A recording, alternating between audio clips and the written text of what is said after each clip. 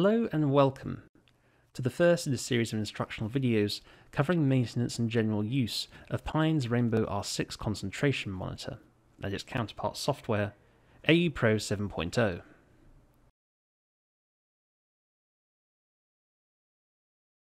unit we see here is the Rainbow R6. The R6 is a versatile and convenient quantitative tool, and the follow-up to the widely adopted Rainbow R2 instrument. The R6 possesses a wide variety of potential applications, including, but not limited to, dissolution testing, flux or permeability studies, solubility measurements, supersaturation and precipitation studies, and formulation screenings, all facilitated by its capabilities in robust, real-time UV vis spectroscopy through a series of variable path length fiber optic probes. The R6 can be fitted with up to a maximum of 8 parallel UV-vis measurement channels, seen here along the top of the instrument. Each features an independent UV-vis spectrometer and fiber optic dip probe, allowing for the acquisition and real-time processing of concentration data at a freely variable collection interval for up to 8 assay vessels in a single run. The R6 serves as the quantitative core of many of Pion's dissolution and permeability testing instrumentation, including the microdis and mini-dis dissolution monitors, and the microflux, bioflux, and macroflux combined dissolution and permeability testing apparatus. The R6 features a reworked lamp control feature, and you can see from the front of the instrument that the deuterium lamp is now accessible from the front panel. Though please do note that for safety purposes opening this panel will automatically cut power to the lamp, so this panel should not be opened during instrument operation. The lamp usage time may be read from the screen located here. Integration times obtained for each channel can be expected to increase with the age of the lamp, so in the interests of maintaining optimum performance, the lamp should be replaced every 2000 hours. The revised lamp hardware also allows the AE Pro software direct control of the lamp itself, enabling automatic shut-off of the lamp post-assay, and even mid-assay during sequences with a point collection interval of longer than one hour, lending to a significantly improved lamp lifetime.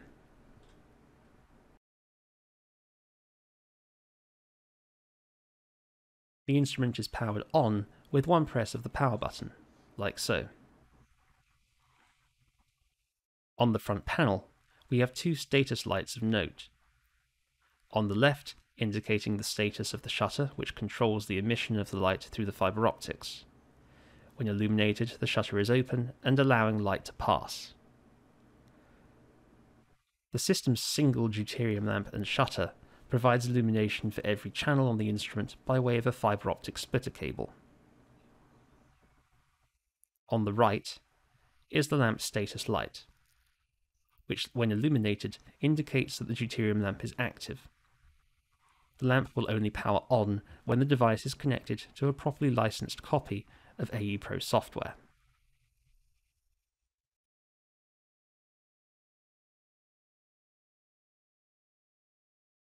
Running from the top of the instrument, we have the fiber optic probes. There are 16 connectors on top of the instrument, facilitating the connection of up to 8 probes on 8 individual measurement channels.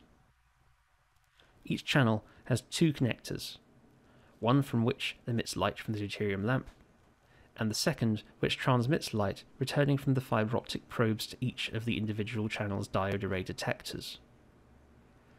The rainbow diode array detectors possess an observable wavelength range of 200 to 720 nanometers, and are critical for facilitating effective in situ analysis. In such cases, being able to assess the full UV-vis absorption spectrum of an analyte is essential.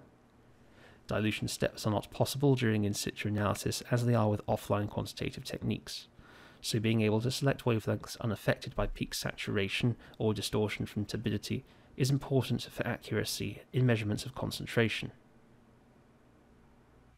The inclusion of visible region wavelengths is also important in the process of applying baseline correction techniques.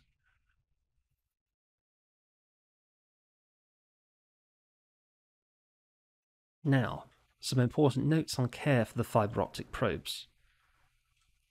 The cables themselves are reasonably durable, but possess a minimum bend radius of 20 centimeters, meaning that no two parts of the cable should ever be parallel to one another at a distance of 20 centimeters or less. Bends greater than this risk damaging the fibre optics.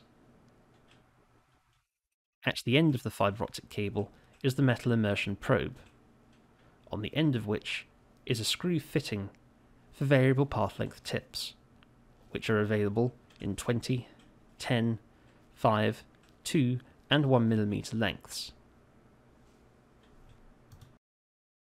As the path length reduces, the likelihood of air bubbles becoming entrapped in the path becomes greater, especially so with the 2 and 1mm tips.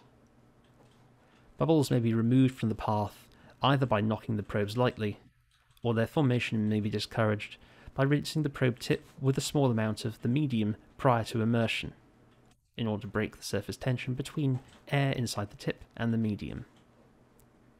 Using degassed media is also advisable. The correct tip length for your application is dependent on a number of factors, Firstly, the degree of molar absorption you can expect from your analyte, and also its solubility.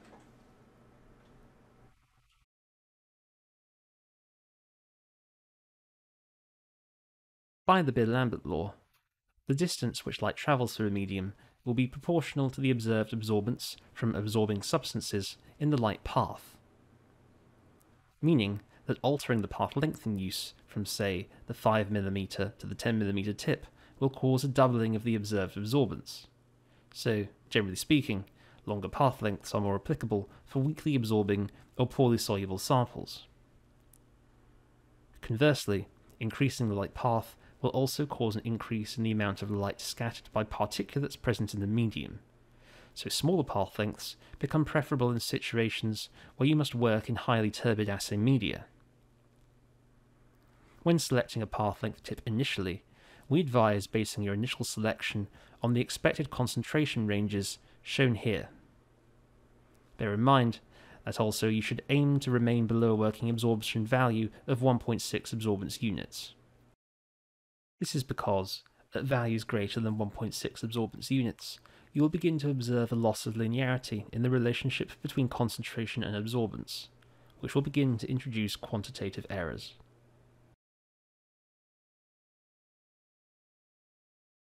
Tips may be replaced simply by holding the metal probe securely and screwing them on to the end of the probe. Turning left to loosen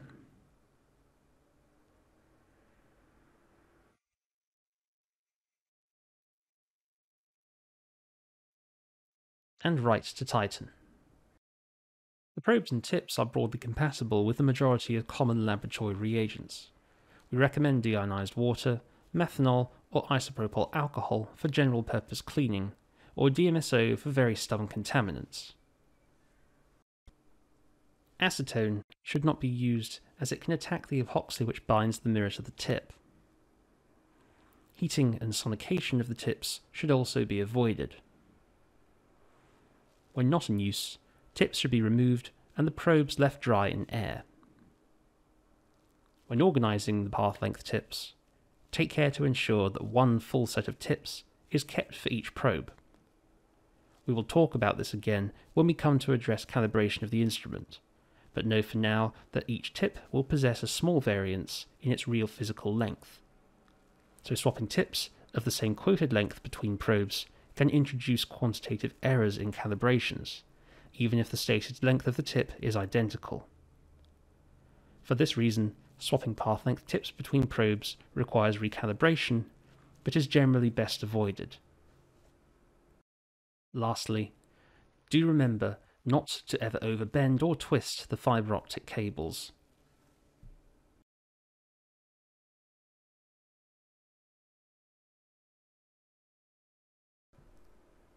This concludes our overview of the R6 hardware. The next video in this series will address setting up the Rainbow for general use and will provide an introduction to the AE Pro 7.0 software.